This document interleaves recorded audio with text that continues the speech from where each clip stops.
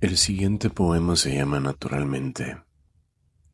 La incesante lluvia me recuerda que debo despertar de la realidad virtual a la que he sido sometido desde el inicio, ese mismo goteo repicando en la mente que es el momento de abrir los ojos a la realidad no vista, al amor que me rodea, a desintoxicar mi cerebro de la falsa sonrisa que plaga el Internet de la cómica benevolencia, de la ingrata sucesión de roles, de los pronósticos vaciados, de datos inconexos, de una verdad que se escapa de todo entendimiento. Escuchar la lluvia me produce un reseteo para no otorgarle ni bendición ni desastre, simplemente lluvia, no tiene ningún motivo contra nosotros, es más, no representamos nada para la lluvia.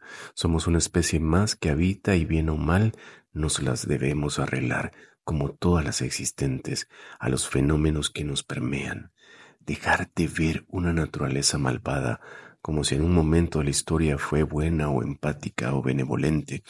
La naturaleza tiene sus propios fines, ni buenos, ni malos, ni planeados, ni absurdos.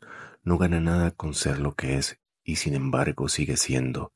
La naturaleza no responde de forma humana en venganza. La naturaleza no actúa de forma humana impulsiva. La naturaleza tiene sus propias leyes, las cuales seguimos ignorando, y tampoco se crean que es un mar de rosas o un mundo mágico en armonía y equilibrio.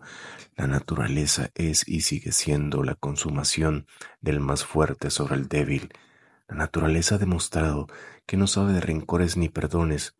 Lo mismo te puede brindar un terremoto y a los pocos minutos brotarle un arco iris. Lo mismo puede inundarte un poblado entero y al otro lado del mundo brotar en riachuelo puro cristalino rítmico, acariciando las flores.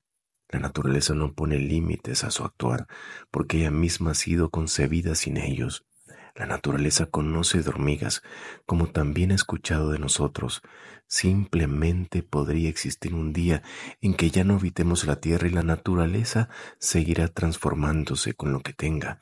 Por eso, Aquieta tu mente y date cuenta que eres uno más en la lista de los habitantes de un planeta que no te pertenece, del cual no eres dueño y serás por siempre el inquilino.